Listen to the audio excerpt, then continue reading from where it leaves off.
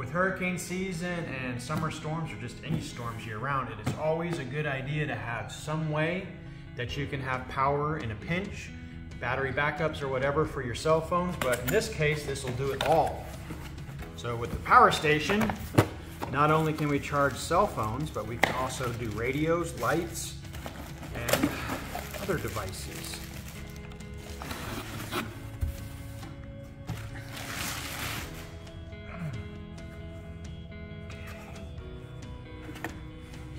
Back, we got two outlets, we got some USBs, we got a readout, we got another USB, we got a DC in, so we can charge it this way.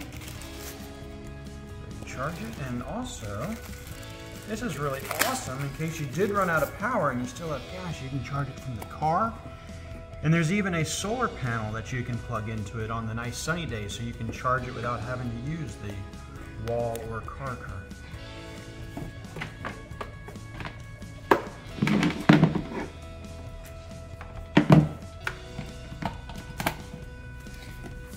Seventy-one percent charge. So there's the readout of what everything is. And then here are some of the devices that you can plug into it. We finally got some rain, but it also came with a thunderstorm which knocked out our power. But luckily, we have the portable power station, which is 100% charged. And we're gonna go ahead and charge some of our devices and um, then we're going to watch a little bit of TV off of it. So each one of these has a power.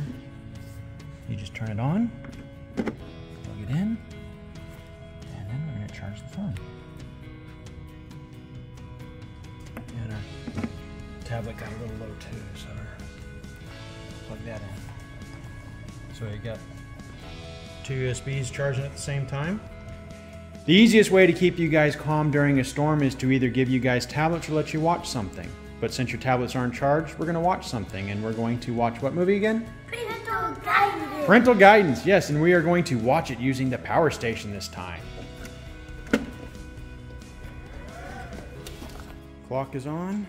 Now we're to turn it on.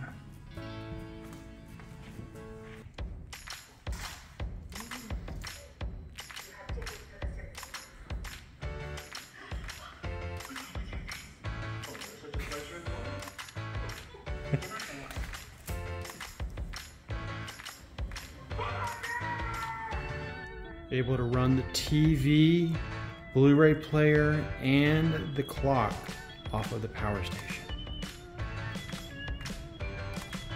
This portable power station is awesome. It can be charged three different ways. You can use, charge it from the wall, charge it from a solar panel, or even charge it from the car. You can run AC devices up to a thousand watts. You got the two USBs. You even got the PD 100 watt or a USB Type C, and you can even run cigarette lighter applications for inside the car. Depending on what you need, you just turn it on. Lights on, tells you what your uh, percentage of the battery is left. You can use it inside the house if you ever lose power. Run, charge your phones, run a radio in case you need to hear what's going on. Or if you like to go camping, take it camping and you can run all sorts of devices, lights, whatever else you need on the campsite. So very nice to have. If you like this, click on the link below. Don't forget to follow us on Facebook and Instagram, Twitter, and TikTok. Thank you for watching. Please like and subscribe. What will happen last time? What will happen next time? Don't forget a cool extra.